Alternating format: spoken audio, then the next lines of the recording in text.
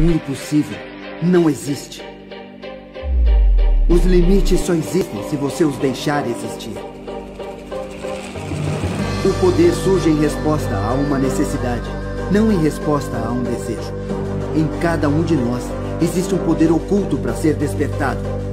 Eu acredito que a maioria das pessoas não conhece o potencial que elas têm. Desperte o seu poder. Desperte o seu instinto superior.